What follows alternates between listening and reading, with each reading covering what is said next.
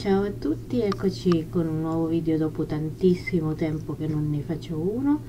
E um, vedo che ci sono comunque tante persone che stanno facendo video eh, riguardante Lucca Comics e quindi ho deciso di fare anche su richiesta di, di Laura che saluto ho deciso di fare il video su Lucca Comics sulle mie impressioni e sugli acquisti che ho fatto allora in primis eh, vi dico che sono andata sia quest'anno che l'anno scorso. L'anno scorso è stata veramente una tragedia perché era veramente stracolmo di, di, di gente e quindi non, non, non, si è, non, si è, potuto godere appunto della fiera. Mentre quest'anno sembrava più vivibile io parlo solo del sabato perché l'anno scorso ci sono andata sia di venerdì che di sabato e entrambi i giorni comunque erano abbastanza cioè sabato pienissimo ma il venerdì anche non era da meno.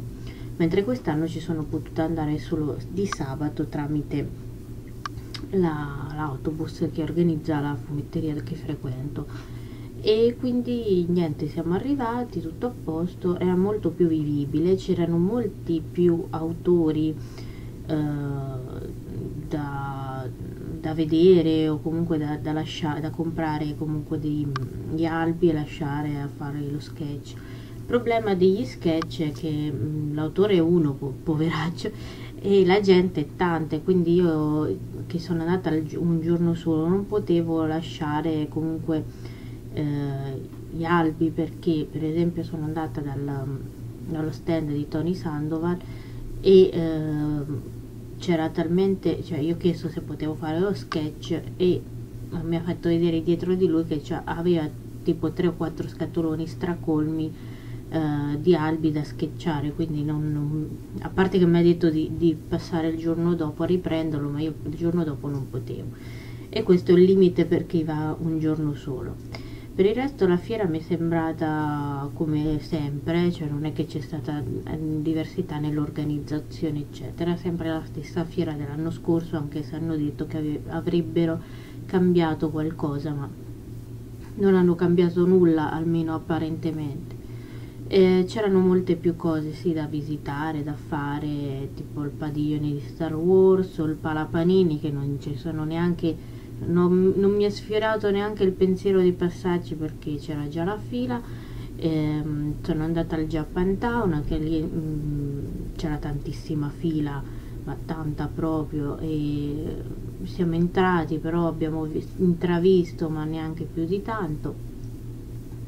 Poi siamo usciti siamo andati negli stand degli editori anche lì pieno di gente poi ci siamo dimenticati delle cose problema lì appunto è fare la fila e quindi facendo la fila avendo di un giorno solo eh, ti stanchi prima e noi ci siamo stancati quasi subito a parte i vari malanni eccetera. Eh, i piedi doloranti che questi non mancano mai.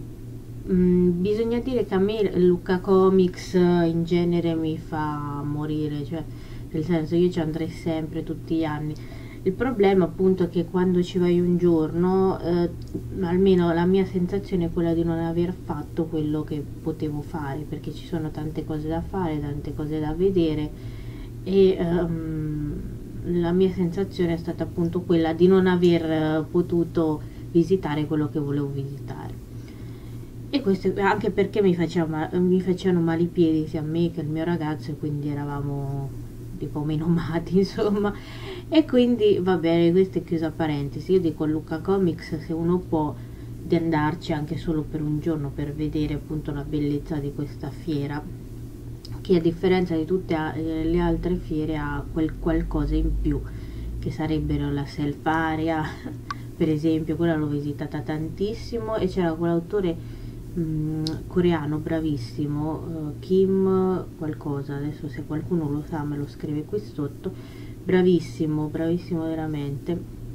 Mi dispiace di non aver potuto comprare quello che volevo comprare la self area però avevo soldi limitati. E però la, appunto la self area è quel qualcosa in più che ha Luca Comics che le altre fiere non hanno almeno quelle che ho visitato io ed è veramente interessante cosa che non ho potuto comprare eh, perché non ho capito dove cavolo stava alla fine non era nella self area era Agorafobia di Dario Moccia, ma non perché Dario Moccia, ma perché volevo, ehm, ero curiosa di capire, di vedere come è strutturato quel, eh, quel fumetto. Spero di avere l'occasione di acquistarlo anche perché mi pare costi 4 euro se non sbaglio e quello mi dispiace. Altra cosa che mi dispiace, quella più di tutti, è non aver potuto comprare polpette spaziali di Craig Thompson e quello mi è dispiaciuto veramente tanto perché però ho, ho valutato bene perché 35 euro sono abbastanza e quindi vedrò se magari in futuro di recuperarlo perché purtroppo non ho potuto prenderlo sempre per i limiti dei budget ho dovuto infatti mi sono pentita di aver preso alcune cose potevo lasciarlo appunto per polpette spaziali però vabbè, ormai è andata così lì non, quando sei a Lucca non è che capisci molto non, è, non ne capisci veramente niente. Poi se non ti organizzi prima dove andare cosa fare eccetera non, e comunque ripeto secondo me con la fiera è da fare mm, il giovedì il venerdì il sabato e la domenica. Personalmente io lo sconsiglio oppure di andarci un giorno solo perché ne vedi la metà della metà della metà. Bando alle ciance comincio se non muoio con i miei acquisti della fiera e comincio con i gadget. Allora per quanto riguarda i gadget mh, mm, ho preso due gadget dei Digimon perché non lo so perché lasciamo perdere. Mi sono pentita di averli presi però ormai l'ho presi perché presa dall'entusiasmo di averli visti eh, ho voluto provare a prendere quelli a scatola chiusa insomma. E mi è uscito Palmon. Oddio faccio come quelle che fanno. Eccola eccola Palmon. Che sono quelle scatoline a sorpresa cioè che ti esce esce e Tentomon che è proprio quello che non volevo però insomma è uscito Tentomon. E poi fuori c'erano i gascia quest'anno hanno messo di gascia cioè le macchinette dove metti l'euro una volta lì erano 3-4 euro giravi e ti usciva la sorpresina. Sia di Sailor Moon che eh, di Shinchan se non sbaglio e alcuni di Na Naruto One Piece adesso non mi ricordo comunque io sono andata da quello di Sailor Moon a provare perché anche se sono stata allo stand Bandai per chi mi conosce sa che sto collezionando gadget di Sailor Moon per quanto possibile. Sono stata allo stand Bandai lo stand Bandai non c'era niente di che per chi acquista come me online eh, però c'era in esposizione Sailor Pluto SH per chi se ne intende. Sailor V che a me sta arrivando e mm, anche le, la parte di Dragon Ball che c'erano delle belle cosine. Comunque io sono andata alla gascia ho preso ho pagato 3 euro e mi è uscita il calice. Cioè sarebbe la coppa lunare il calice rainbow quello della, della serie S ed questo sarebbe un um, ciondolo per, il, per, un bracciale. Poi io adesso non so come lo userò sinceramente se mai lo userò. E questi sono la parte gadget. Eh, i due Digimon mi sono costati 10 euro tutte e due e la, la cosa 3 euro. Vabbè e fino a qui ci stiamo cominciamo e, e finiamo perché c'ho poca roba con i fumetti. Non ho comprato uh, manga non ho acquistato manga perché eh, non c'erano varianti interessanti e comunque le novità le trovo nella mia fumetteria ed è per questo che non acquisto novità nelle fiere perché tanto dopo le ritrovo. A parte che mi sono mi sono mangiata le mani per eh, l'albo Due Fratelli degli, degli, stessi autori di Day Tripper eh, perché ho visto il video di Elisabetta che saluto che ho incontrato Eris Rome che saluto sempre eh, che praticamente quello uscirà a gennaio se non sbaglio se non ho letto se non ho sentito male sarà quello il volume. E quello mi dispiace perché eh, volevo leggerlo mi incuriosiva perché Day Tripper mi era piaciuto parecchio per chi non conosce dei tripper eh, vi invito di mh, mm, andare sul canale sulla pagina facebook di 88 ferro dove ne parla. Allora eh, la mia vabbè la mia prima tappa non lo faccio in tappe stand sono andata nello stand degli editori e chi si è visto si è visto. Ah, altro editore molto interessante se vi posso consigliare è l'editore Cosmo che è penso una casa editrice nuova o almeno io non la conoscevo prima di aver acquistato ehm, 28 giorni dopo quella l'edizione tipo bonelliana e lì ci sono delle cose interessanti solo che eh, il budget l'avevo limitato ribadisco e quindi non ho potuto. Allora nello stand Tunui ho acquistato aspettando Monster Allergy che questo qua veniva se non mi sbaglio un euro sì e qua praticamente ci sono tutte delle informazioni su Monster Allergy, per esempio la geografia di Monster Allergy, che è molto carina, è un albetto carino, per un euro c'erano varie variant uh, da prendere, io ho preso questa perché presumo che nelle altre non ci sia qualcosa di diverso, comunque. Um, mia, il mio obiettivo è prendere Monster Allergy Extra proprio per completare, insomma poi sempre per Monster Allergy ho preso il numero 30 perché ho preso il numero 30 che è l'ultimo numero finalmente di Monster Allergy a 5 euro. Perché ho recuperato tutta la serie ho recuperato tutta la serie dell'edizione non Tunue eh, quella del deluxe che costa 50 euro a volume eh, ma quella vecchia che non mi ricordo di che casa editrice sia. Comunque quella albetti così spillati e questa l'ho recuperata grazie a Clacca. Clacca è una, una blogger di fumetti che vi consiglio di andare a visitare. Non è una frase in italiano. Vi consiglio di andare a visitare il suo blog che a Clacca, a Clacca piace leggere eh, che vi consiglia moltissimi albi a fumetti interessanti non solo manga ma eh, per ampliare anche la vostra mente anche altri albi a fumetti molto carini. E da lei sapevo che un suo amico vendeva Monster Allergy. L'ho acquistato e um, veramente ho fatto un affare perché ho risparmiato tantissimo. E adesso con il numero 30 posso leggerlo tutto d'un fiato.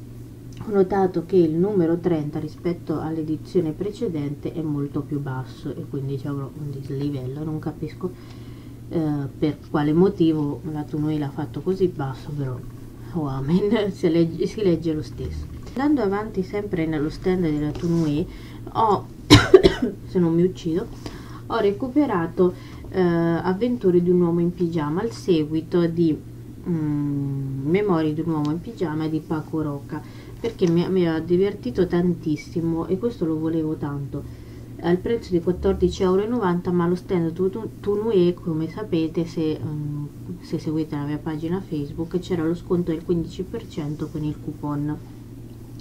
Che a, a, a, vostra scelta cioè sceglievate un coupon tipo c'era quello di Bombo e Monster Allergy o altri e potevate prendere tutto il catalogo col 15% di sconto io volevo tantissimo eh, le avventure di un uomo in pigiama perché eh, il primo mi era piaciuto veramente tanto. Consiglio a tutti Paco Roca va bene l'autore di Rughe ma anche questo, questo gioiellino eh, vale la pena è tutto a colori. Va bene, sono strisce eh, dove parla della propria quotidianità insomma. Poi come sapete vi ho detto che c'era lo stand Tony Sandor ho fatto una foto e ho preso mille tempeste. Perché mi sono presa mille tempeste? Perché ho controllato guardato mi sono informata sugli altri albi di Tony Sandoval e questo è quello che mi ha colpito di più sinceramente. Tony Sandoval mi piace, mi piace molto il suo stile di disegno solo che non ho potuto farlo sketchare perché ovviamente c'era la fila. E niente la mia prima opera di Tony Sandoval io lo seguo ehm, seguo i suoi lavori solamente sulla sua pagina Facebook oppure comunque seguo solamente le parti visive quindi non ho mai avuto modo di leggere un suo, un suo albo. Questa volta l'ho preso perché appunto c'era il 15% di sconto e eh, l'ho pagato 18 vabbè di solito si paga 18,90 euro questo bel albetto rigido. E questi sono stati i miei acquisti della casa editrice Tunui che io ho un casino di cose eh, di, praticamente la mia wishlist è dalla Tunue e dalla Bao Publishing comunque. Allo stand denti blu di cui mi sono pentita di non aver preso Adez o se si pronuncia così o Edez non lo so ho acquistato eh, l'ultimo volume di Sacro Profano, il Paradiso, al prezzo di 12 euro di Mirka Andolfo e eh, dopo averlo acquistato come sempre abbiamo fatto la fila per lo sketch che era una fila abbastanza decente visto che ho sentito gente che ha fatto file peggiori e mi ha sketchato Damiano Angelina.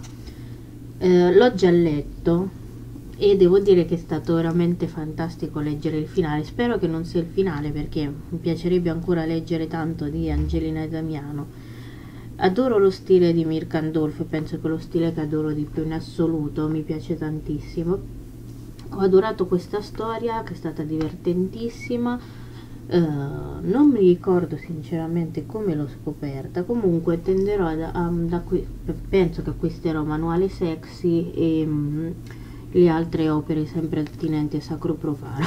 Mi sono pentita di non aver tanto è tutto un pentimento di non aver preso sia Adex e Adex Adex Adex e um, Adex sì, e um, l'albo l'artbook mi pare di, uh, di Mirka che costava eh, 10 euro. Mirka comunque è fantastica perché è veramente disponibile alla mano è un'attrice bravissima e anche molto umile e quindi vi consiglio tantissimo perché se volete strapparvi due risate vi consiglio Sacro Profano perché è fantastico.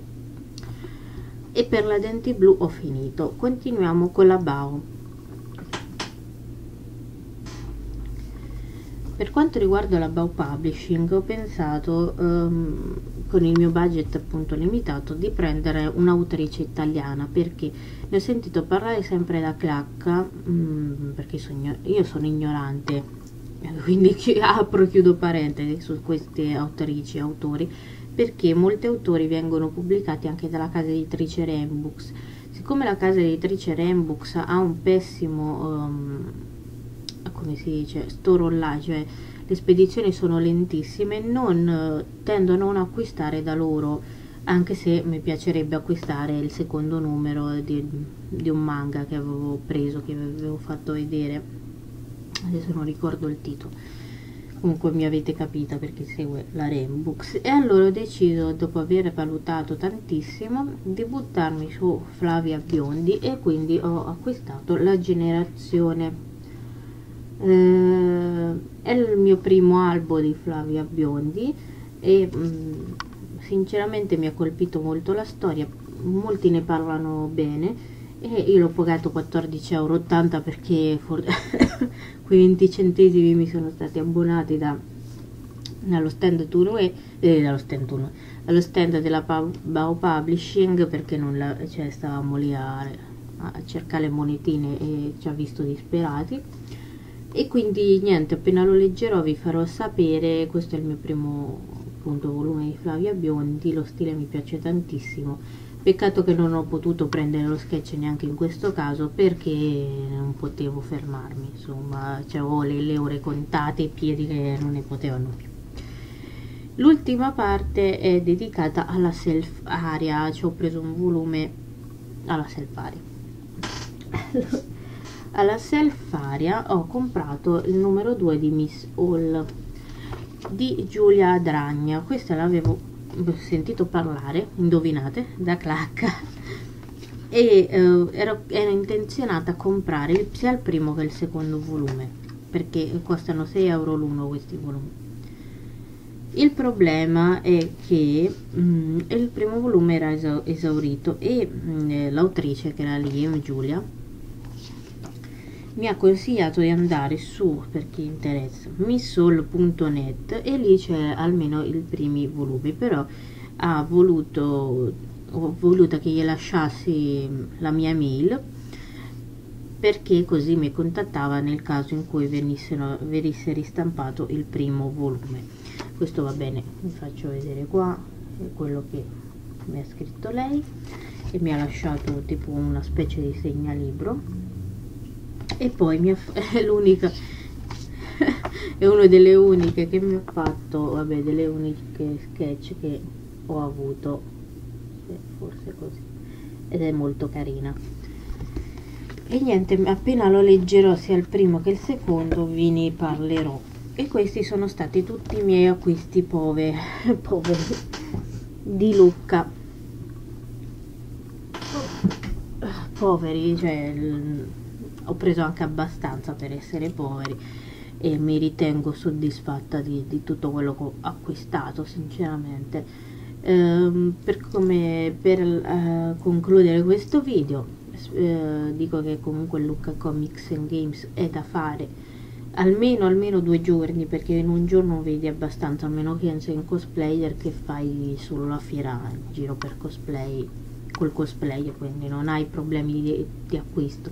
Chi vuole acquistare io gli consiglio il giovedì il venerdì il sabato e la domenica lo sconsiglio caldamente. Però mi sono divertita ho incontrato eh, molte persone per caso e va bene mi, diciamo che mi sono divertita anche se ci sono stati problemi di salute qua e là. E niente spero che il video vi sia piaciuto se volete sapere qualcosa di qualche volume me lo fate sapere qui sotto e ci vediamo al prossimo video. Ciao